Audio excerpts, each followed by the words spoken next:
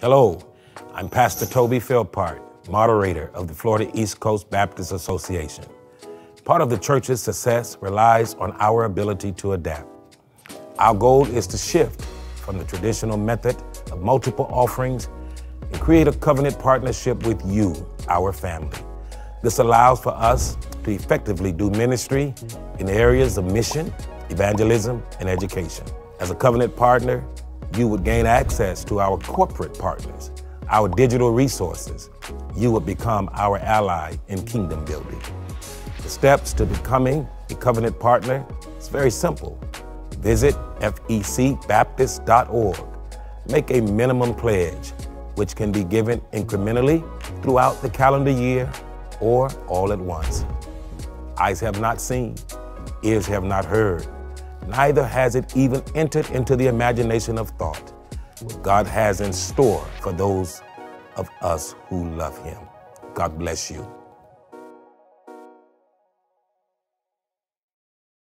Hello, I am Pastor Toby Philpart, moderator of the Florida East Coast Baptist Association. The Florida East Coast Baptist Association aims to effectively do ministry through evangelism, missions, and Christian education. In a short period of time, we have been able to do so. We've created nearly 100 covenant partnerships as of date, allowing us to fund over $1,100 to each of those respective areas. But we have just begun.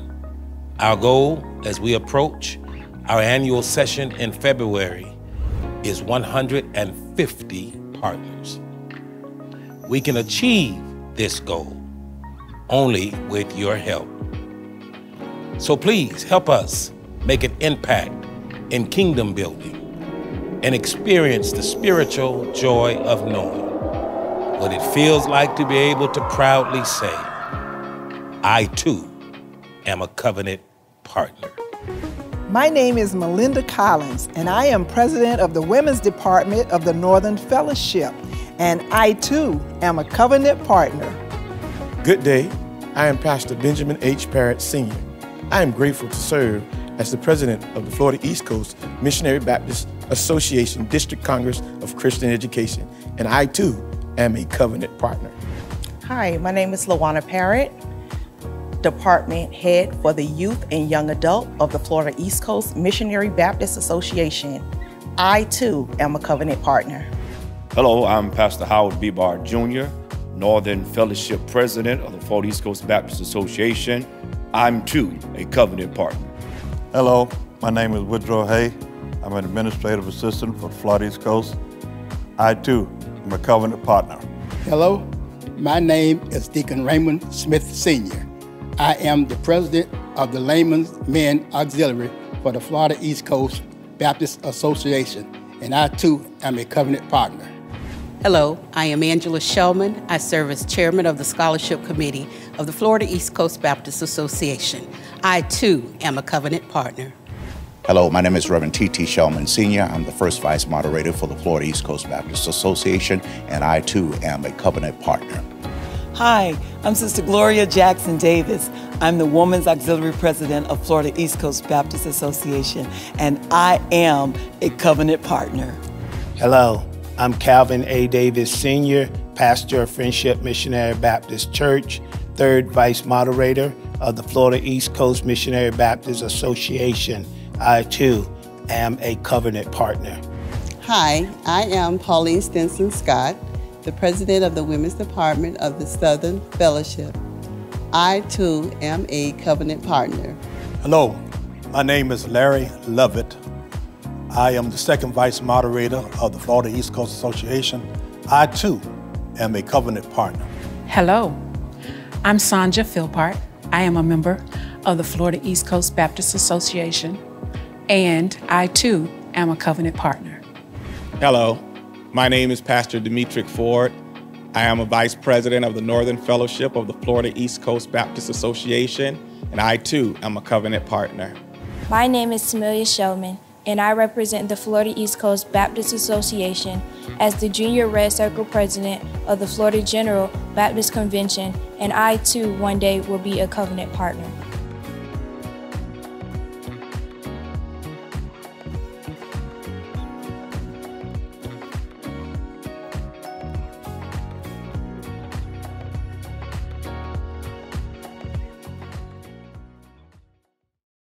Hello, I am Pastor Toby Philpart, moderator, Florida East Coast Baptist Association. And I've come again to tell you the great things that are happening with our Covenant Partner program. I brought some team members here with me. Listen, if you will.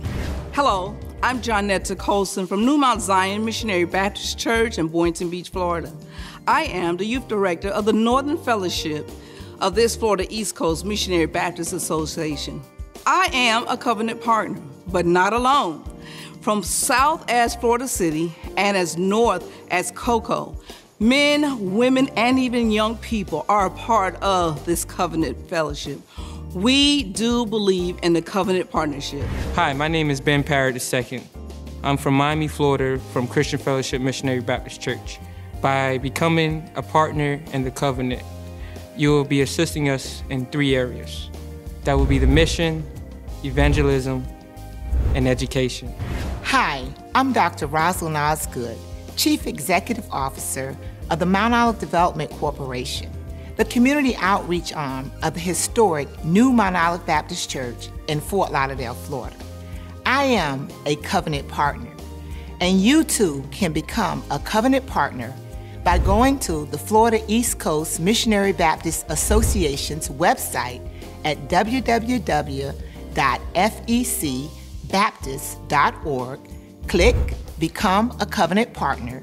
You can make a one time donation of $240 like I did, or you can make monthly donations. Join me in kingdom building. Become a covenant partner. So now you know the who, the what, the how. Can I tell you why? Become a covenant partner to be part of the mandate that Christ has given us mission, education, and evangelism. Partner with us today in kingdom building. Thank you very much.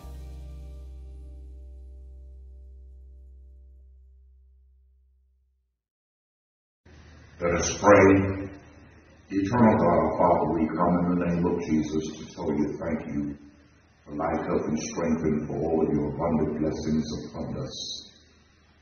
Our dear God, we ask that you will bless us as we assemble as the Southern Fellowship for this Florida East Coast Baptist Association.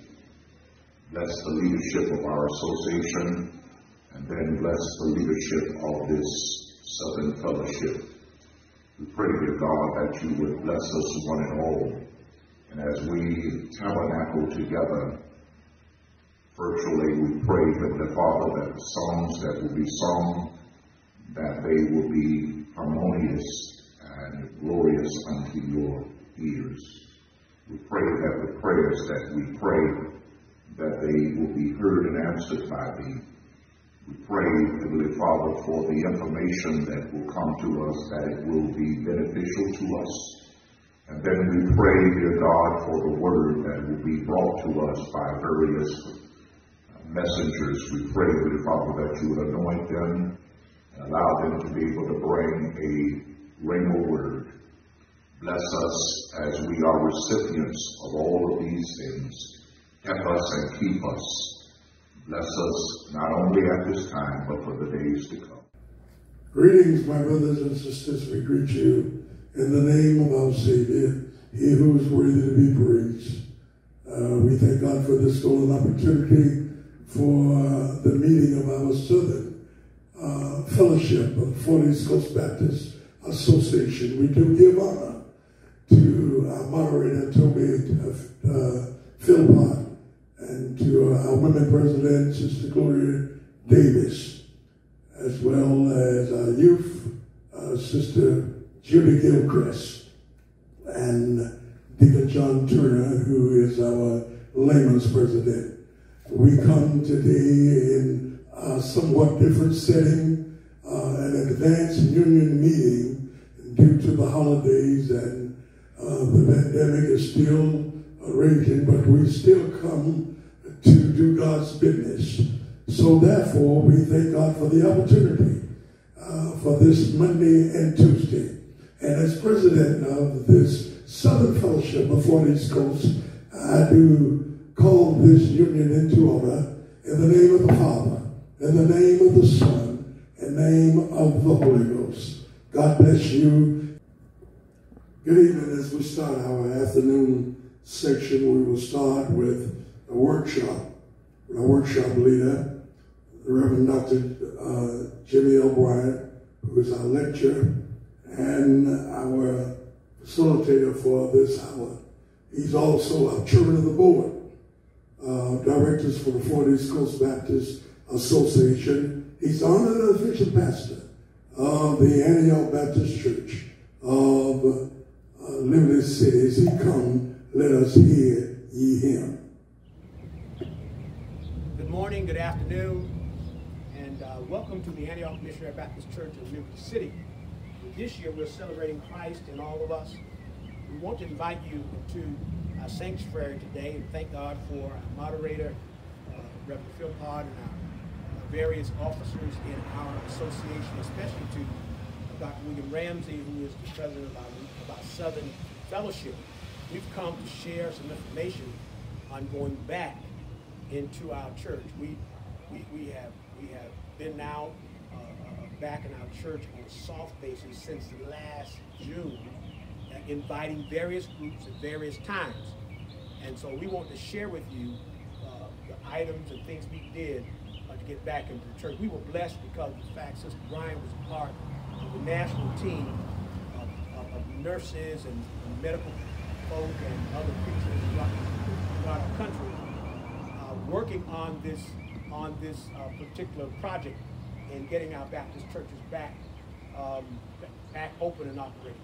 And, and, and, when our people come up, certainly to our church, the first thing they see, of course, is that masks are required. We are we are we are doing our best to make sure that we follow all of COVID-19 protocols. Uh, we're practicing social distancing, and also we take temperature screening. So let me suggest that you have those items in place, certainly making sure that you, you, you purchase um, temperature uh, uh, uh, machines that take the temperature either the forehead or on the wrist, and they're, they, they're not that expensive, but they are important.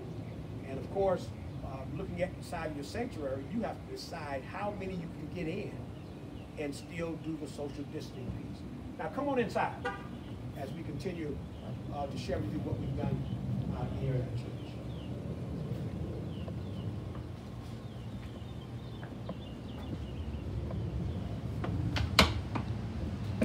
As you enter our vestibule, you will see uh, first thing our people see when they come in is make sure that they're wearing their protective face mask. Of course, I'm the only one talking, and so I'm the only one without a mask at this moment. But also, we have on hand our um, temperature taking mechanisms that will check everyone's temperature when they come in. And as we go down, uh, coming to the church, we'll notice that we also have every pew Every pew has been designated as a sitting or non-sitting pew. We also have arrows. So we're going to take you um, the correct manner, uh, arrows that take us in one side and around the other.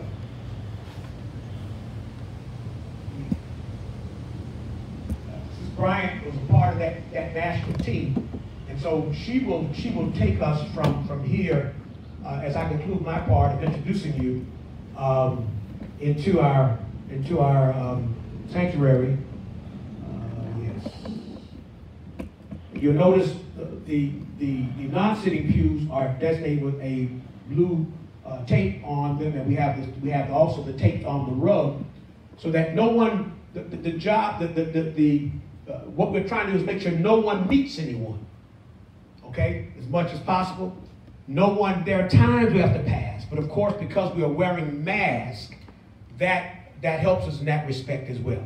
Uh, thank you, Brian. Well, we give it over to you now for the next part of the presentation. Good morning. I'm Lady Bryant, and welcome to Antioch. The purpose of these COVID-19 recommendations that my husband and I are presenting today is to ensure the safety of church members by establishing a thorough protocol when in-person worship services reconvenes, of course following the CDC guidelines. I was truly blessed in May of last year to be invited by the West Coast moderator, Reverend Ducksworth, to join this dedicated group of healthcare professionals to work on these COVID-19 recommendations for the reopening of our churches. These are the same guidelines that we used here at Antioch when we opened last year in June. One month prior to the reopening of our church, Pastor Bryant called a meeting with the leadership team, the ushers, and the custodians. Um, in that particular meeting, of course, we discussed the CDC guidelines, and at that time, we discussed who would return to church uh, first. We encouraged members over age 65 and members with underlying medical conditions to stay home and attend church virtually since they were at higher risk. Of course, that has changed a lot now since the rollout of the vaccinations.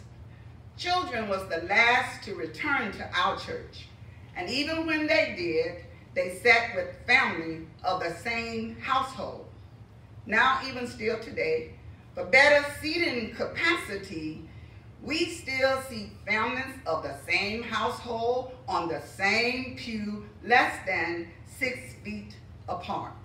Now, if you have a large group of children at your church, you may want to consider children's church, separate children's church.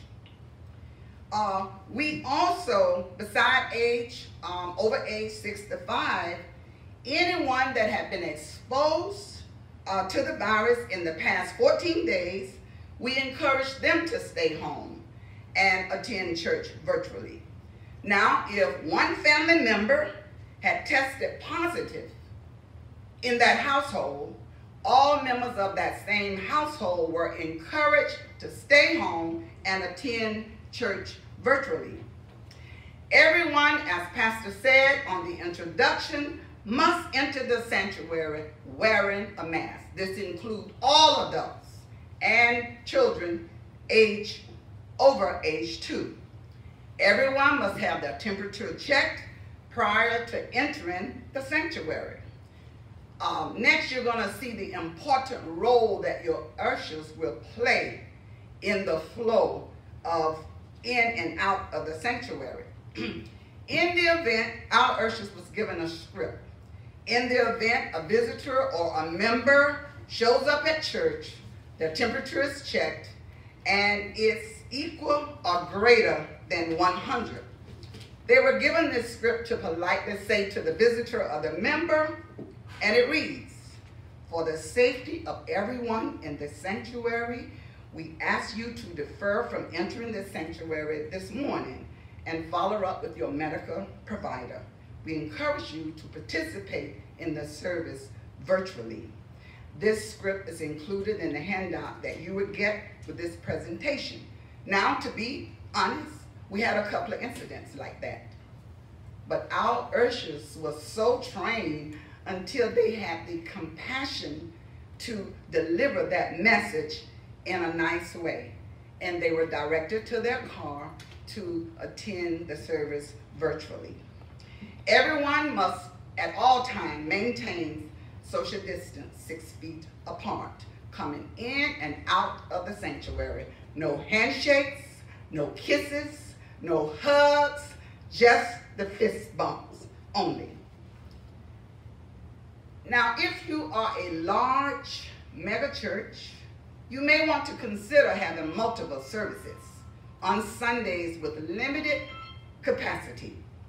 Now, if you choose to do this, you should provide the times of your different services, worship services, to limit the capacity in the sanctuary. Members should be encouraged to attend only one service and definite make time between those services to properly clean the sanctuary. Now, we are a small church, and we're presently still meeting three ways. On Sunday, we meet in person. we meet by way of Facebook and our 1-800 uh, toll-free conference line. On Tuesday night Bible study, Sunday school, we meet on our toll-free conference line. On Thursday morning, uh, mission hour, we meet on our toll-free conference line. Try to avoid all those different small meetings um, at the church. Separate meetings can occur on Zoom or on your 1-800 conference uh, line. Preparation of the sanctuary. Pastor mentioned uh, some of the preparation at the beginning of the video. You should have one entrance and one exit.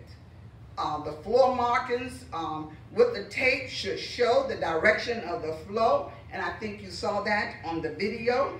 We have arrows on the floor indicating the uh, direction of the flow of traffic. Again, our ushers do a very good job in directing everyone in and out.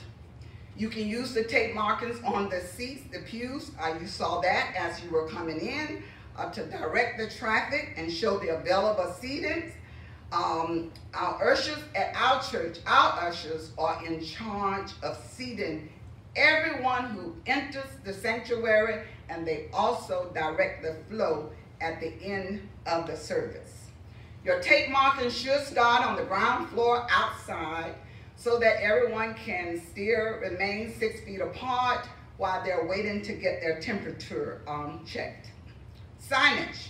I think you were able to view it on the uh, video. You should have signs that address maintaining social distance, six feet at all times, face mask required, temperature screen required to enter, and on your empty pews where they should not be sitting, you should have signs that say, do not sit. And if in your church, if you're using chairs, the chairs should be spaced six foot apart, six feet apart, or if you have several chairs, the ones that they should not sit should have a sign. Um, you notice all about the banner uh, entering the church that talks about social distance. Um, we had a couple of other big banners on the outside that says um, wear masks at all times, which has been taken down for the painting of the church. Uh, all of the pews should be staggered like you saw on the video. All hymn books and Bibles should be removed from the sanctuary. We suggest instead that you project your scriptures and your lyrics from your uh, announcement uh, screen. We suspended the use of printed programs that was passed out every Sunday morning to prevent the spread of the virus. Hand sanitizers, very important. Hand sanitizers should be uh, located throughout the sanctuary, especially at the entrance. You also should have additional masks on hand to provide members and visitors who arrive without no mask. Or maybe they wore a mask from home and the strap broke or something happened to it. You can replace it rather than have them to leave or not enter the sanctuary. Your church should post the CDC guidelines for proper hand hygiene near the church entrance, on bathrooms, church website, and the bulletin boards. This is also, a copy is included in the handout. You should refrain from serving food at the present time at your sanctuary in the fellowship hall. Now, this was one of the hardest ones uh, because we know that we're a Baptist church.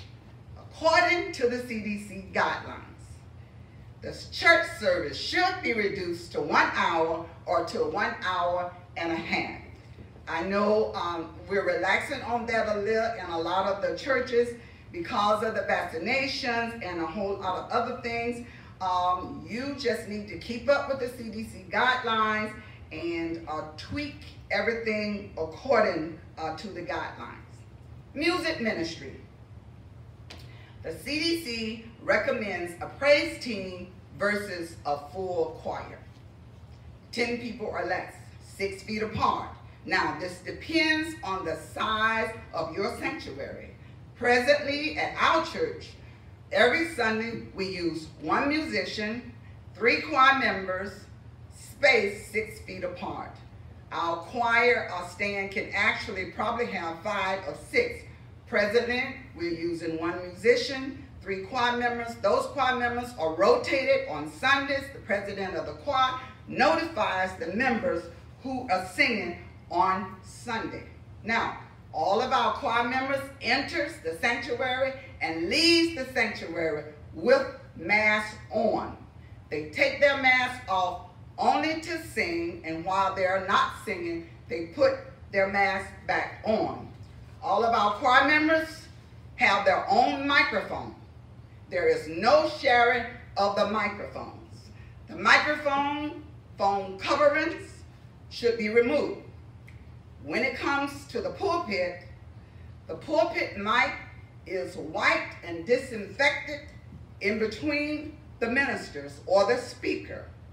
Normally, um, our deacon or designated person who's going to do the call to worship and the congregation of prayer uses the mic on the floor. And anytime the mic here is used, it is clean and disinfected in between use. Communion. I know that you can see our communion table set. We continue to do that, but it's just set for presentation. We have not returned to the traditional way of doing communion where the deacons go out in the audience and allow you to get your communion. Our communion, one deacon is designated to pass out the communion as we exit the sanctuary. Each member receive their communion with their hand out, palm up. And the deacon um, put place your communion. We use the pre-packaged communion um, cups. Um, also, that deacon wash and sanitize his hands before putting on his gloves, and this process is used also after he finished serving uh, communion. And our members are just instructed to um, throw away their um, containers after they've used. Some of our members go home, have their communion there. Um, some members um, do it um, even um, at the church, but we're not all in the sanctuary doing it together. We have not gotten back to that process yet. Public offering. We have not returned to the traditional way of doing public offering yet, where all the members get up, pass around the offering table. We, um, offering is, your offering is placed in your envelope, is placed in a basket where a deacon is holding as you exit the sanctuary. There is an announcement made every Sunday that there will be no change made so that the flow of exiting the sanctuary continues six feet apart. No one is stopping to make change. You drop your envelope in the basket as you exit. We keep the flow moving. Now, one of the things I want to say, uh, we've talked about several things. Uh, at our very first meeting, because there was so much said about the flow, our ushers decided to practice that particular day with the leadership team. After our deacons put the blue uh, arrows on the floor and marked off the pews, they practiced until they felt comfortable, until they had worked out all of the kinks, um, because we, um, the way that we are practicing our seating is you don't choose where you want to sit, not during the pandemic. The ushers direct you into the church. Are you first? We seat from the front to the back.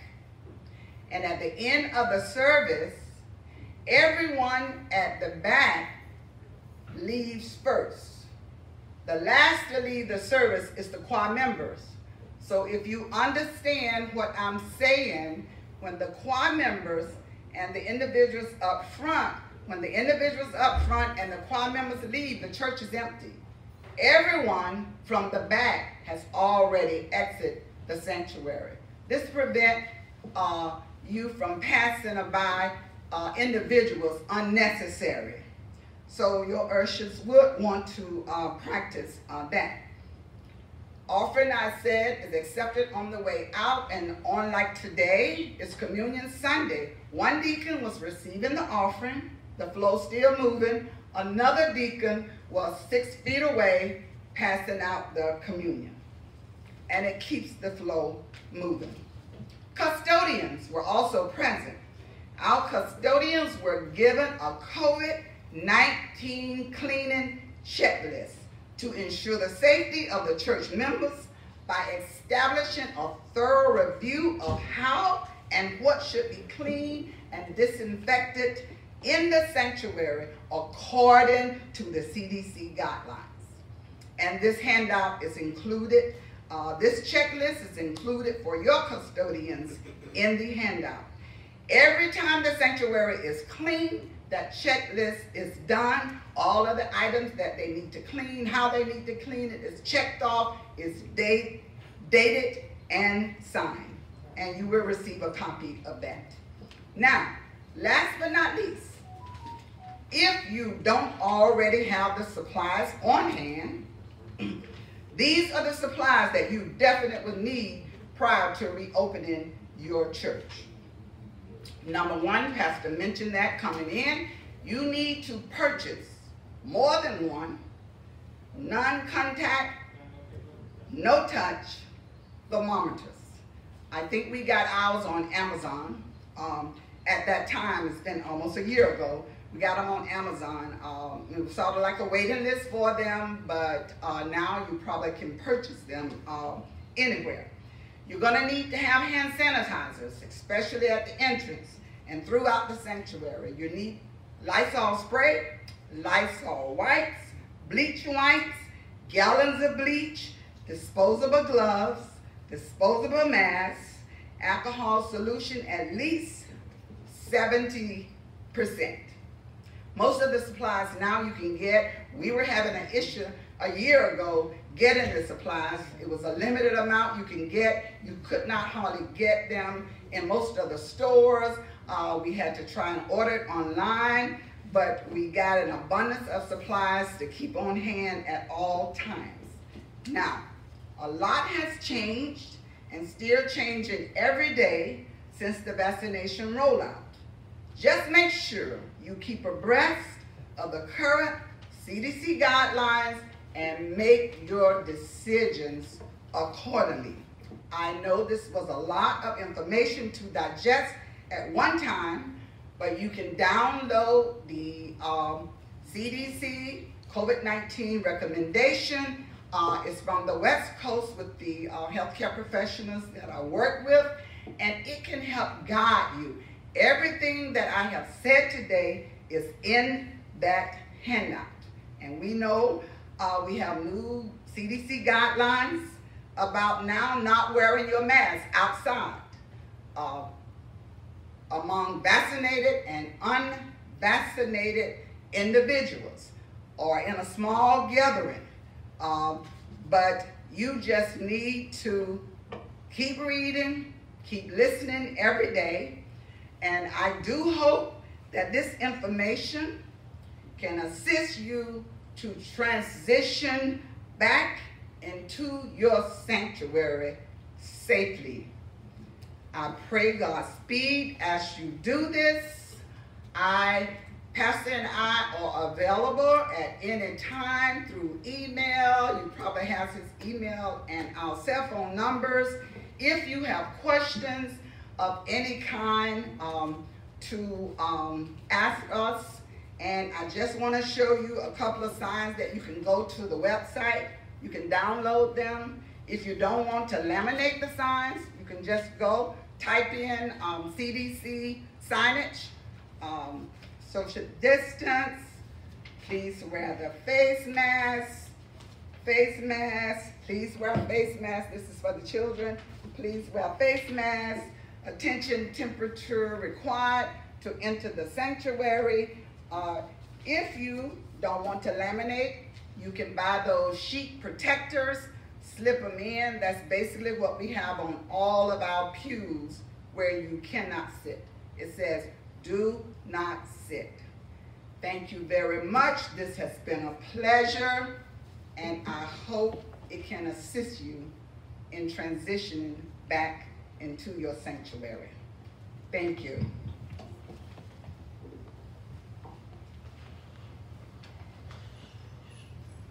Thanks, Ms. Bryant. We appreciate the opportunity of Dr. Ramsey and moderator Philpott for sharing these um, this information. And uh, the blessing is when you have those who work in the area, work smarter, not harder. And um, that that script that she presented to you, what we had in our initial meeting way back on the um, fourth fourth Sunday in March of, of 2020. We met the very next week and began to put all of these items in, into place. Not all of them, but we began to put some things in place, and she became a part of that state team, that national team, to help black churches come back together. Now, my prayer is that you would please um, download that information. I believe she's going to make it available for um, Pastor Ford, our tech specialist, uh, that you can get uh, a copy of it. And we bid you Godspeed and pray that all the things that need to be done at your church will go well as you be vigilant. And we pray that God would keep every one of us. Let me ask Deacon Green to come now and close this session with a word of prayer. And um, uh, we, we certainly are glad that um, we had this opportunity, had this opportunity to, to share with you today. Deacon Green will come and, and lead us in a word of prayer as we close this moment.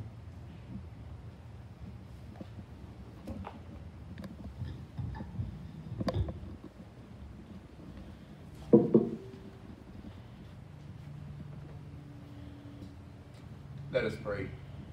Eternal and all-wise God, our fathers, in the name of Jesus, we come at this appointed time and place, thanking you for this chance, this opportunity, Father God, once again to to be in your presence, Father God. We thank you for your blessings, your grace, and your mercy, Father God. We thank you for this opportunity to share with brothers and sisters throughout the land, Father God, as we go through these uncertain times. We realize, Father God, you have all power in your hand. You will guide us through these troubled times, Father God. we thank you, Father God. We ask you to bless everyone that's on these airways uh, right now, Father God, and bless those who will get the word later on, Father God. We need you, Father God, as we go to our destination at the end of time, Father God. Thank you for our Lord and our Savior, Jesus the Christ, the one who died on Calvary's cross, that we may have a right to eternal life. And Father God, when it's all said and done, we give you all the honor, we give you all the praise. For it's in Jesus' name we pray. Amen. Amen. Good evening. As we come to introduce uh, the preacher for the hour, and we want you to know that he's no stranger to the Florida East Coast uh, Missionary Baptist Association. He served uh, as our state Congress of Christian Education as well as our district Congress of Christian Education. And so we thank God that he is one that is well capable of rightly dividing the word of truth. We understand that God word teaches us and admonishes us that how can we hear without a preacher? And how can he preach except he has been sent? And so we thank God for this sent man of God that have come to share with us in our Southern Fellowship on this evening. He's a gospel preacher. He come by way of the Second Canaan Missionary Baptist Church in the city of Miami. We know that he can preach and he will preach. And we're asking that you would just um, give an ear to hear what the Spirit has to say to the church.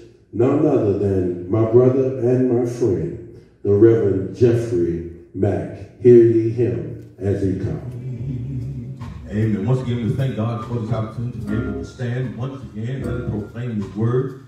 To say to our moderator, Toby T. Philpott, cabinet, to our Women's Auxiliary President, President, Amen, Sister Gloria Jackson, Amen, Davis, amen, to our Southern Union uh, President, Dr. W.M. Ramsey. Want to thank him for the opportunity to be able to stand, amen, and proclaim the word to Deacon Raymond, amen, Davis, who is our uh, uh, layman's president, to our Congress president, amen, Pastor Parrott, amen, and also to Raymond Smith, I'm sorry, and also to, to Pauline Scott, who is our women's auxiliary president for our Southern Union. We're just thankful for the opportunity to be able to stand and proclaim the word.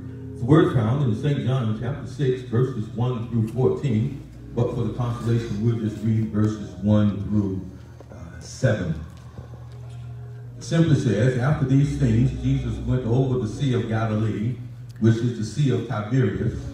Then a great multitude followed him because they saw his signs, which he performed on those who were diseased. And Jesus went up on the mountain, and there he sat with his disciples. Now the Passover, a feast of the Jews, was near.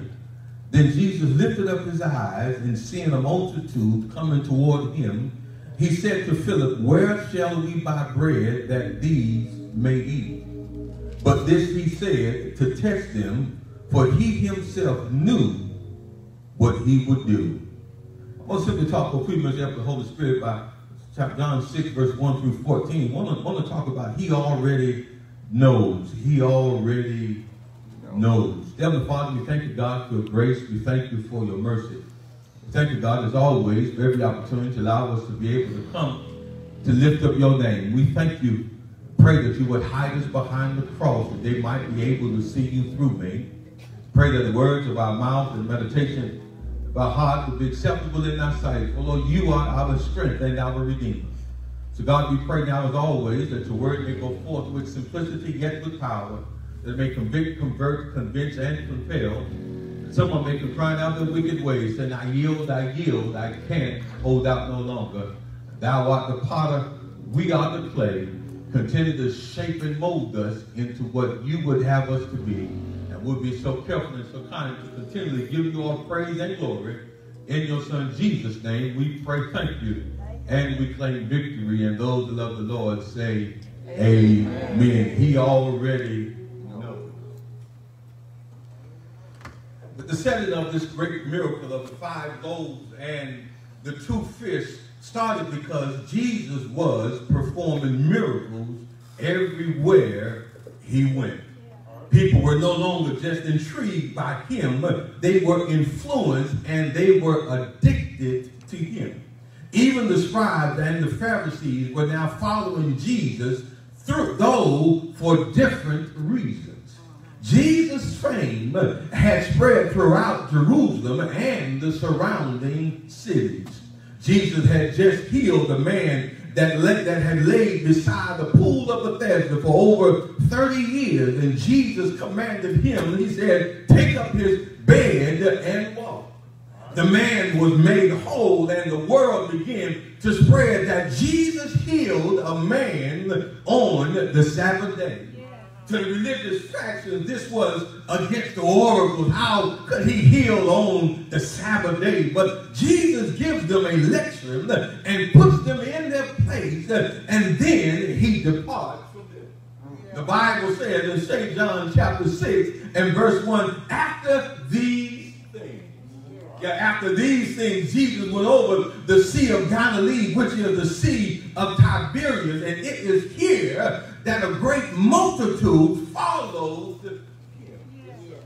That's what it says in verse 2. It says, because they saw his signs which he performed on those who were diseased. Jesus already knew that some were only following him because of what he was able to do for them.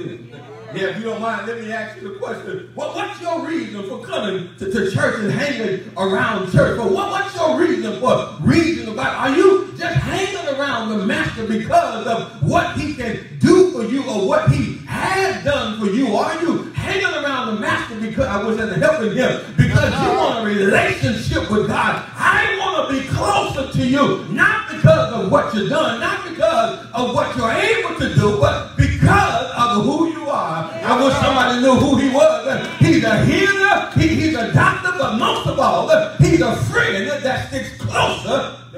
Yes, sir. When nobody else comes around, he'll be there. When nobody else wants to talk to you, he'll be there. I follow him because I love him because he first. Love me. Yes, sir. It's because we follow him because we've seen Jesus do things in our lives and the lives of others. And, and you figure if you hang around that it may happen to you. If I just hang around somebody being blessed, maybe, maybe the blessing will follow me. If I just hang around somebody that, that's doing well, maybe God will bless me. Listen, I don't want just residual blessing. I want sometimes the blessing to come straight from God. I don't mind receiving an intercessory blessing, but every now and then I want God to bless me. Yes, yeah, I want the blessing to fall fresh on me like it's falling on somebody else. Yes, yes sir. Maybe, maybe you just don't want to, to, be left out because, because others are, are coming and some have changed and some haven't. Maybe you, you want to change, but you're afraid that you may lose some people in your life. So therefore, you follow from a distance. But you can't be following the master from a distance and be afraid to lose people.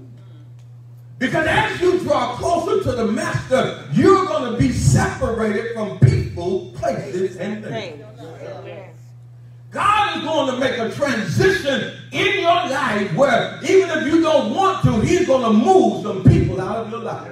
Because you got to understand everybody that comes in your life doesn't come to stay. Some come for a reason, some come for a season, and some come for a lifetime. But you got to be willing to let God be the judge and let God decide who will stay and who will go. You know I always say, thank God for those that come into my life. But then I thank God for the ones he takes out of my life, but the memories that we had while we were together. Because nobody comes to stay all the time. But there are some that God placed in your life to be there the rest of your life. Yes. I wish somebody had a witness to that. There are some people, not a whole lot of people, maybe one, two, or three, won't be five, but a few people God placed in your life that will be there for the rest of your life. Yes. They may not be there all, all around you all the time. Yeah. But when you need them. Right there. They're right there. Whatever you need, when you need, they're right there. They can help you. They'll help you get help. Yeah. Huh. But whatever your reason is, you need to understand that the master, he already knows. Yeah. Mm. Verse 3 through 5 says, I'm not going to be long, and Jesus went up on the mountain and there he sat with his disciples. Mm-hmm. It said, Now the Passover, a feast of the Jews was near. Then Jesus lifted up his eyes and seeing a great multitude coming toward him, he says to Philip, mm-hmm. Where shall we buy bread? Mm-hmm. That these may eat. Yeah.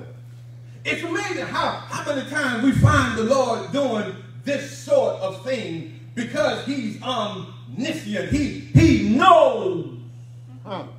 Oh. Uh-huh. all.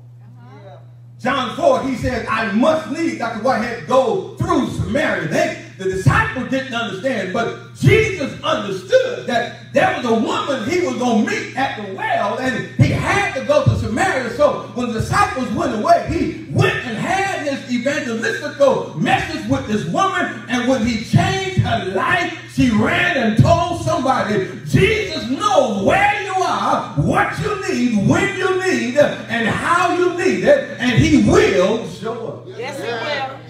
Yeah, in your darkest hour, when the doctors walk out the room, he'll show up. When, when your husband or your wife walk out on you, he'll show up. When your children give you the backside, he, will show up. When your job gives you a pink slip, he'll show up. Even when things are going well, he'll show up. When you get a raise on your job, he, I'm going to hit that while raising your job, he'll show up. When he's blessing you to wake up to see another day, God will show up. Yes, he will. And in fact, he showed up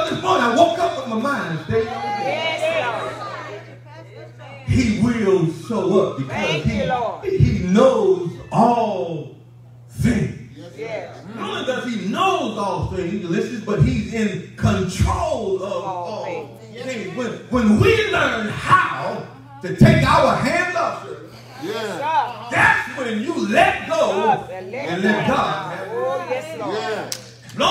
got your hands on it, he'll let you think you're in control.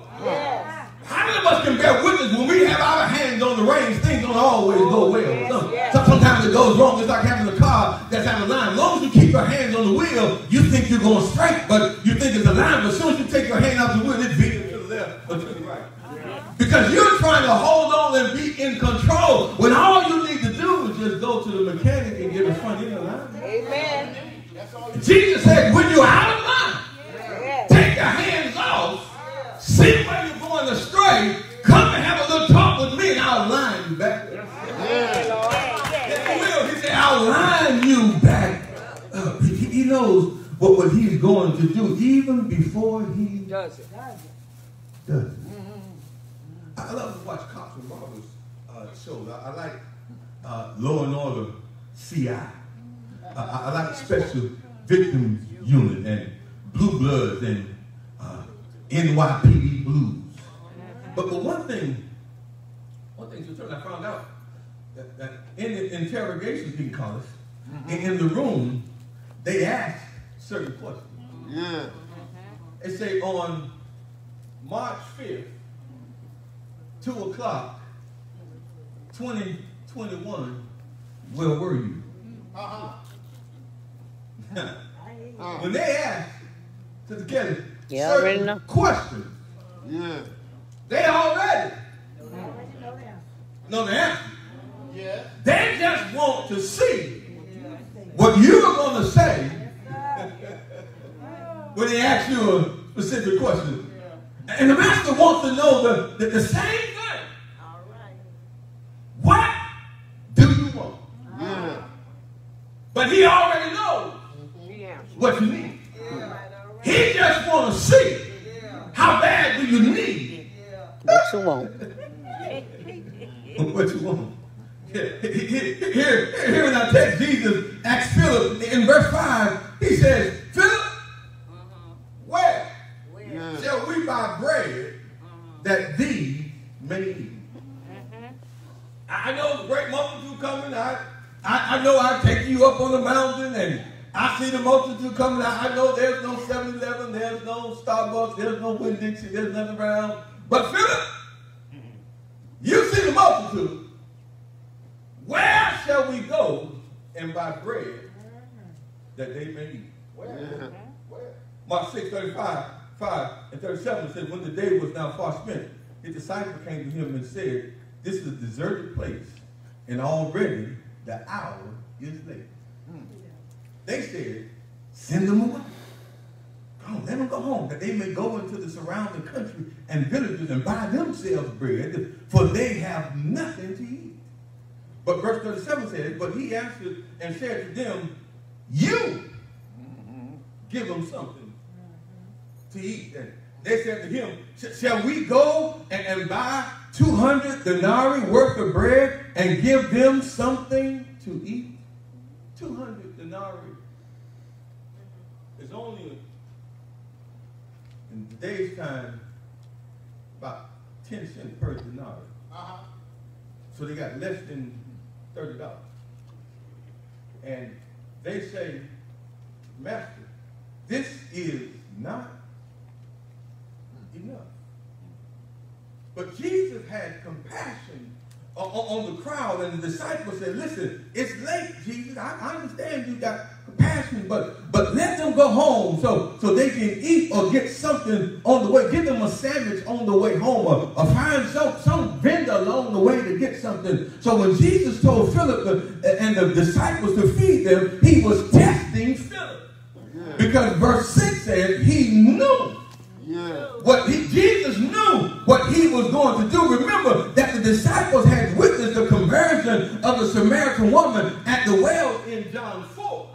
They had watched him cleanse the leper in Mark chapter 1, verse 40 through 45. They seen Jesus heal Peter's mother-in-law in Mark 1, 29 through 34. They seen Jesus calm a storm in Mark 8, 23 through 27. Jesus healed a demon possessed in Matthew 8, 28 and 34. And now in John 6, 6, Jesus said, but this he said to test them, for he knew what he would do. Message Message Bible said, he said, he said this to stretch, there it is, to hmm. stretch Philip's faith because he already knew what he was going to do.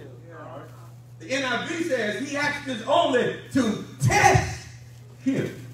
The message says to stretch, stretch his faith. NIV says to test him, for he already had in mind what he was going to do. That, that, that makes me shout to, to know that no matter what you're going through, Yes, sir. Jesus already knows what he's going to do. All he wants to do is test your faith. Stretch your faith. Oh, For us to realize that he is the only one that can work out our situation. Have you ever had your back against the wall? Yes, sir. Didn't know how you, you were going to make it. You couldn't go right, couldn't go left, couldn't back up, couldn't go forward. All you had was two other things to do. That was to bow down and look up. How many know when you get in a dark place and don't know how you were going to make it,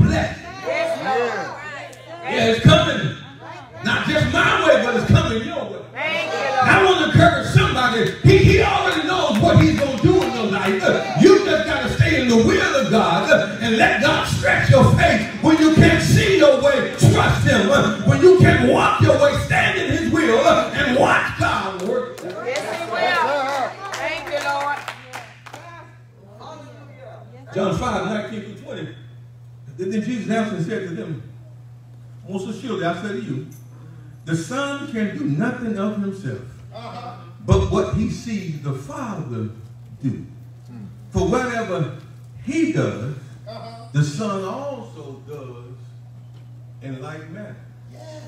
For the Father, he says, loves the Son huh, and shows him all things that he himself does, and he will show him greater works than these that you may marvel.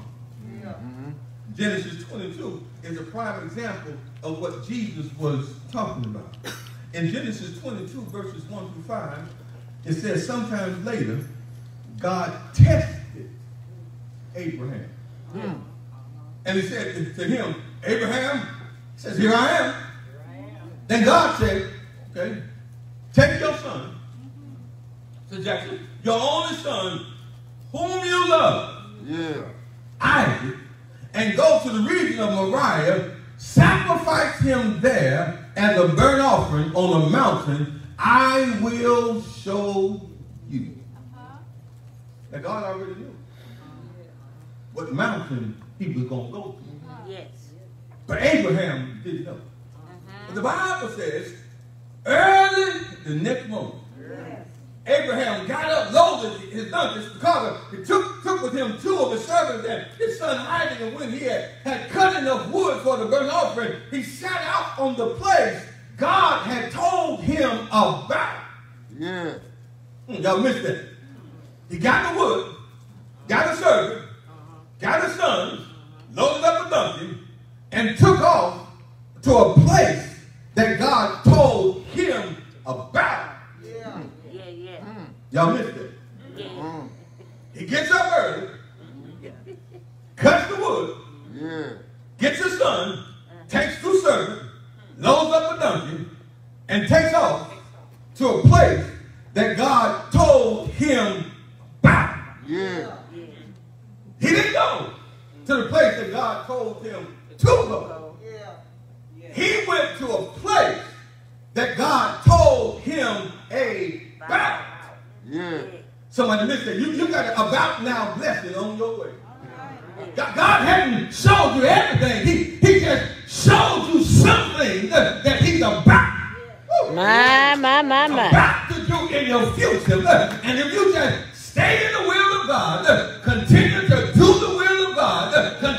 walk by faith, God will be bless you with an about blessing that when you get there, God will already provide you. Uh. Look at him. He, he. Takes off her. He, he goes to the place that God showed him. And the Bible says in Genesis 22 4, on the third day, Third day. Abraham looked up and saw the place in the distance. Yeah, right. Yes, yes. Oh, hold on. He's going to a place that God told him about. And the third day, Sister Garrett, he lifts up his eyes and sees the place. Mm-hmm. God never described the place. How did he know hmm. that was the place that God told him about? There's something about being obedient to the word and the will of God.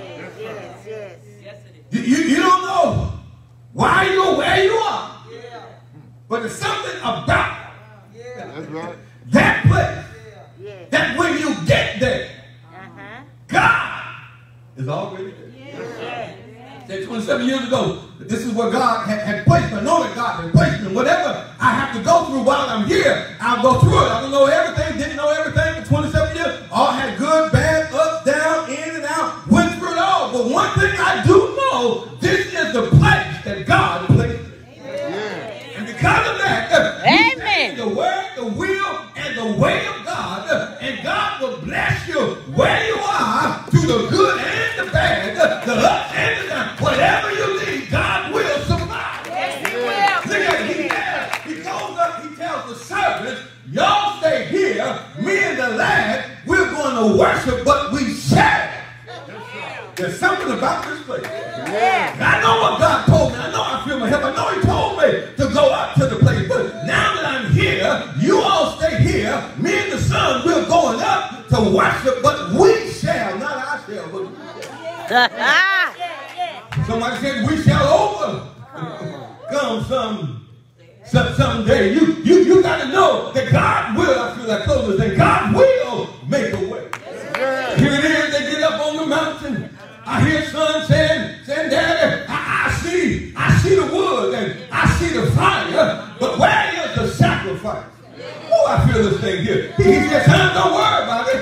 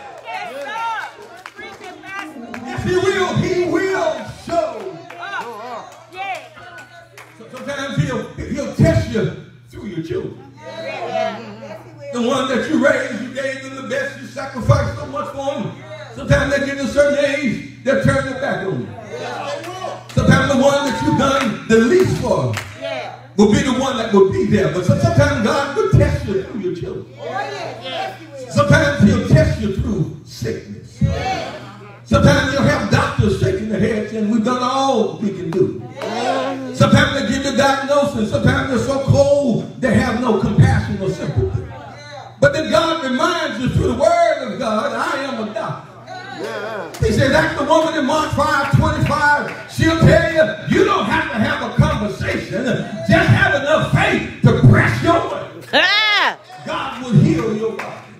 That's the woman that was going to a funeral on her way out of town to bury her son. And the master was coming in and the master met her going out. And he touched the river. And the Bible said the boy got up. God will meet you where you need.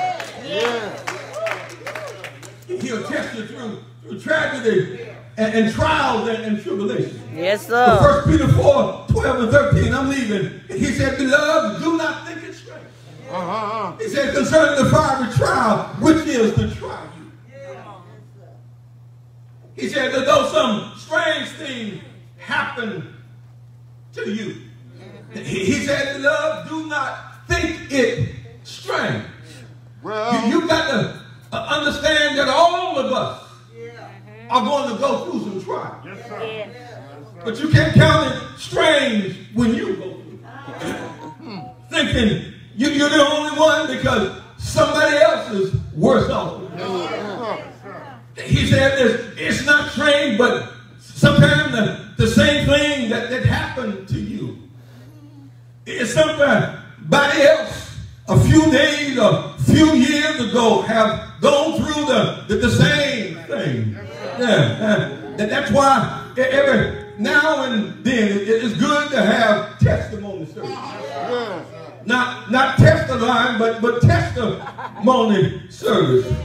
Because sometimes your testimony can be a test to help somebody else. Somebody may yeah, feel to look at you and, and hear your testimony and came to church with trouble in their life and tears in their eyes and the, the burden was heavy. But when they, they, they hear how God is working it out for you, when they see how yeah, y'all broke up, but, but yet God is still got your head up. When you make up your mind, I don't care who knows what I'm going through.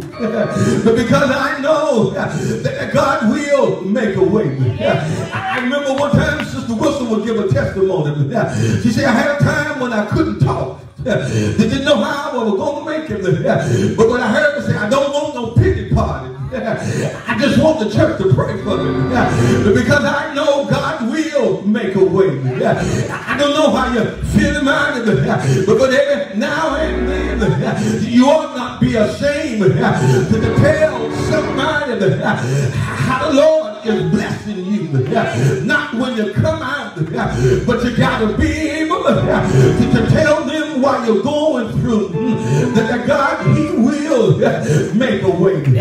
Am I right about it? I know I got more bills than I do finance, but I want to let you know that the God I serve, even though I got more outgoing than I do income, I want you to know that God, He already knows. Because sometimes He takes your outgo outgoing compared against your income to, to open your eyes to, to realize there's some things you've got to let go in order to let your outgo come down. So you got income to live.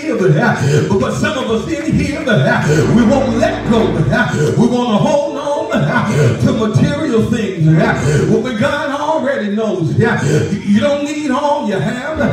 You got what you want. You're trying to keep up with somebody else.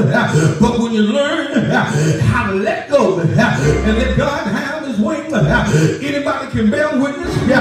He'll turn your finance around. When you learn, it's not about material things. It's not about the cars, cash, or the clothes. But it's about my Savior. And if you learn how to, let God have his way, God will start making wings out of no way. And before you know it, you got more income than you do outgo. That's what God will do. He'll turn it around in your favor. But I hear Peter saying, but rejoice to the extent that you're partaking of Christ's that when his glory is revealed, you may also be glad with exceeding joy. I don't know about you, but I made up my mind. I'm going to live for the word of God. I'm going to live, stay in the will of God. Because I found out when you stay in the word and the will of God, he already knows. Yeah.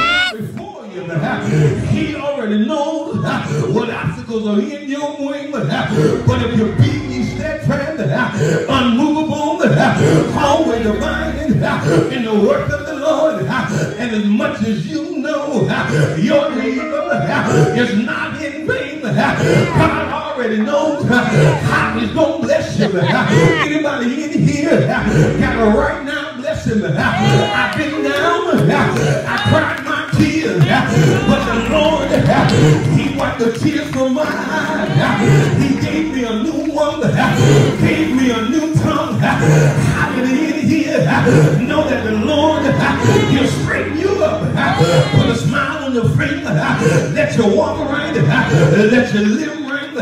But I hear Jesus said in John 5, 19 and 20, he said the Son can do nothing but what he sees the Father do for whatever he does, the Son also does in like manner. John 6 and 6, but this he said to test Philip, to stretch Philip, for Jesus knew what he was going to do. Philip answered him, all they have is less than 30 dollars. That's to feed everybody. they forgot. They forgot, Reverend. Philip was looking at money. The other disciples, he was looking at the two fish and the five barley loaves. They were caught up in tangible, visible things, but they forgot they served a God that was able to do more than tangible. He's able to do exceedingly, abundantly, above all you can act, hope, or think. That's what God will do. Uh, so he tested their faith. He said, I tell you what, uh, let the men sit down. Uh, the Bible said that the grass was thick. I don't know why I put it there, but the grass was thick. They sat on cushions in the grass. They brought the two fish, mm, five barley loaves. I wish you could have been. Look at the disciples. Standing around Jesus. He takes the fish. He breaks the fish. And he hands it uh, to the disciples. And he distributes to them. Uh, he takes the bread, uh, breaks the bread, bless the bread, pass it to the disciples. They pass it out. Can't you see them? Their faith being stretched. They know what he gave them. But as they walk with the gave them some fish, gave them some bread. As they walked through the crowd, excuse me now, gave them some fish, gave them some bread. And when it was all over, Jesus was trying to show them, I can do more than you could ever think. I already know what they need. He said, pick up the fragments so that nothing belongs. He wanted them to see that he did exceedingly and abundantly. I gotta leave you now Thank you, Dr. Ramsey. Thank you, Shelley Houston. Thank you, Frank Woodline. Thank you, Conference Call.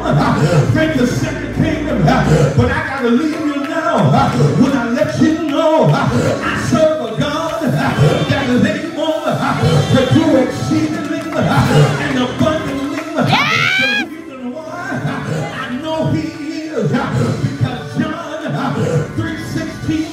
3.16 lets me know how he's able to do more than I can ask. For the Bible says, for God so loved the world that he gave his only begotten Son, that whosoever believeth in him should not perish, but have everlasting life. That's it right there. I'm in the whosoever. In the whosoever. I love him, I love him. I love him, I love him. I love him, I love him. I love him, I love him. You got to excuse me now. I love him, I love him. I love him, I love him. I love him. Not because of what he's done. I love him, I love him. Because of who he is. He saved my soul. He kept me in and on. He'll rock you. Every now and then he'll let you know everything gonna be alright. Gonna be alright. Gonna be alright. I got a feeling everything gonna be alright. The reason why I love him so much because he died, died for my sins. They stretched him a wide, they hung him high. He died. I said he died. He didn't stay there. They took him down, laid him in Jones tomb. He didn't stay there. Three days later, I said three days later, three days later, he got up. I said he got up, and because he lived, I can face tomorrow. Because he lived.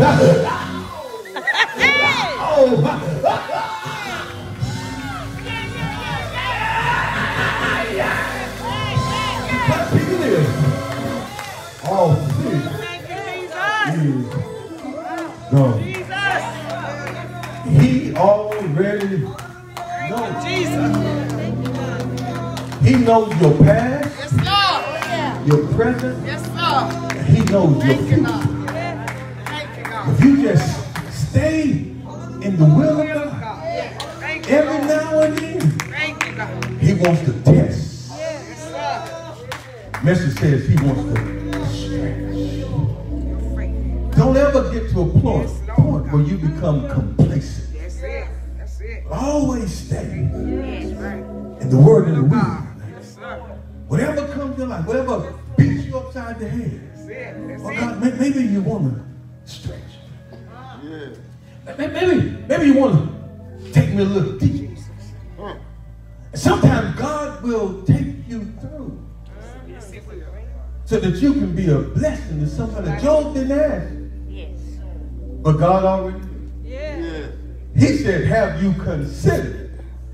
My servant Job? God already knew, didn't tell him that he could make it, but he didn't.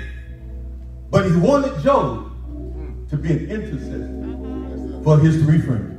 Yeah. They came over, Elder Bill and came over and said, yeah, you, you had to have done something. There. And no way you can brag about how good God is and now you're going through this. You had to do something wrong. The Bible says Job held fast To his integrity. his integrity. Yes, sir. He says, though he slay me, yet will I trust. But in the end, Jesus tells, God tells his friends, Job is going to intercede on your behalf.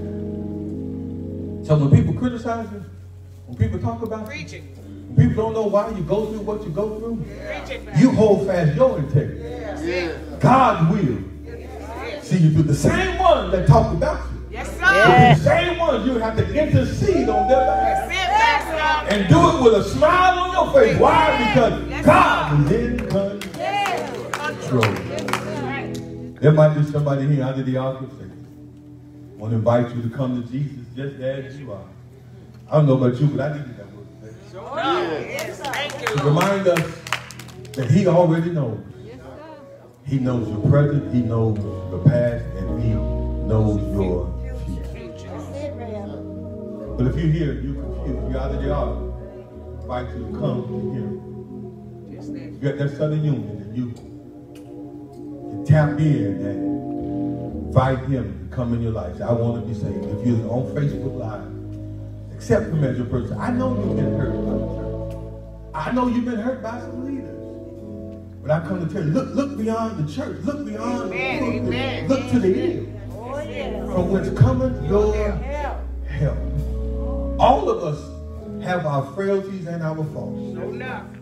But the one thing my father always said, I'd rather be in the mess, trying to get cleaned up, than be on the outside and be lost. That's it. Every day's not gonna be a good day, but you're gonna have more good days than bad days. But you just gotta learn how to turn it over To the Lord. to the Lord, and He'll separate you from people, Places places, and and things. Yes, he will. He'll take the tangibles away to let you know he can do exceedingly and abundantly above all you can ask. He's able to do it. You will just come to him just as you are. Come by letter candidate for baptism, experience. But the day you hear his voice, harden not your heart. Come on, let's give the Lord a hand clap of praise. Thank you, Southern Union. Amen. Thank you for this opportunity able to share